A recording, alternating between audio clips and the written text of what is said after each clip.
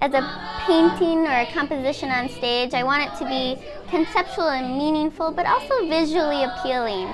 Choreographer Amber Burns and Spring Awakening on the playlist.